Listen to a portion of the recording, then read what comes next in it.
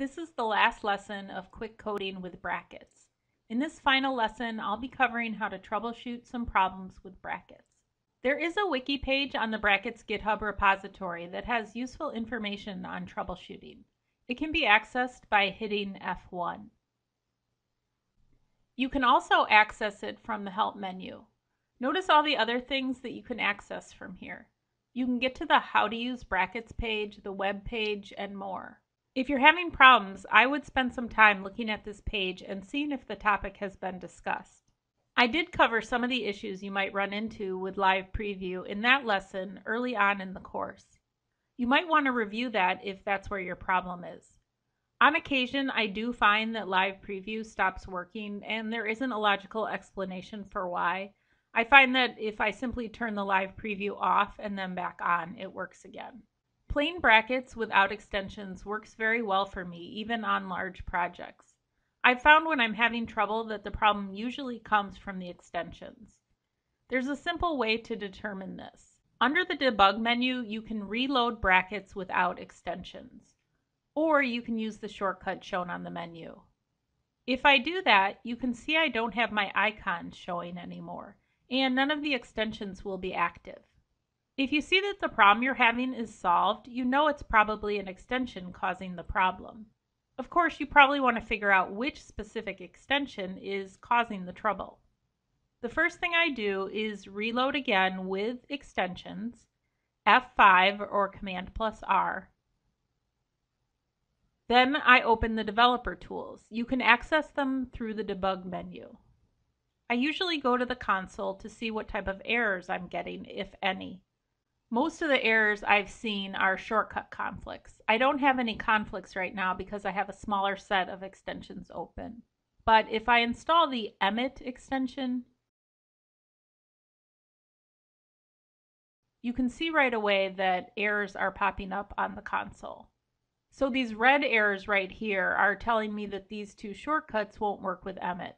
I might not care about that, but I did actually run into another problem caused by installing Emmet that wasn't revealed by looking at the console.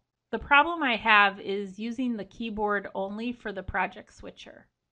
I'm still using the original keyboard shortcuts on my Windows machine, so I'll hit Control plus Alt plus R to take me to the project switcher.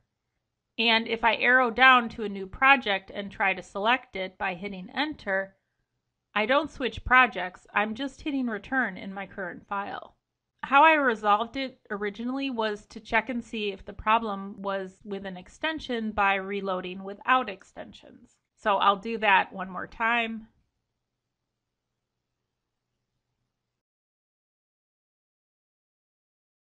And it works great when no extensions are loaded.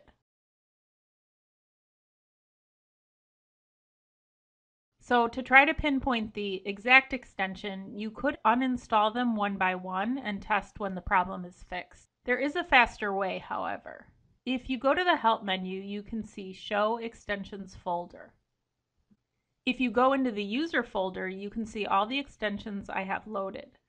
You may want to go into the folder and look at how they're set up if you have any interest in building your own extensions and learning more about how that works. But what I want to do is try removing extensions one by one to see if the problem goes away. I can simply cut the extension folder and move it into this disabled folder instead. I found that starting with the bigger extensions like Emmet usually lets me find the culprit quicker. So I'll cut that folder and paste it into disabled. I'll do a regular refresh. And when I try to change projects with the keyboard, it works again. So I know that was the problem. Sometimes I leave Emmet in this disabled folder until I'm doing specific work with HTML, since that's a very small percentage of the time for me. To re-enable the extension, I can just undo that move to put it back in user and then refresh. If you pinpoint an error in brackets or on an extension, you should go to the correct GitHub repository and first look at the open issues to see if it's been reported yet. If not, you can report it as an issue yourself. Some of these other menu items are really for those people who are doing development on extensions or brackets itself. The main thing a regular user cares about are the first three menu items and the last two, opening the preferences file and the user key map. If you go up the path in your Explorer or Finder window, you can see all the data that Brackets uses for your Brackets configuration.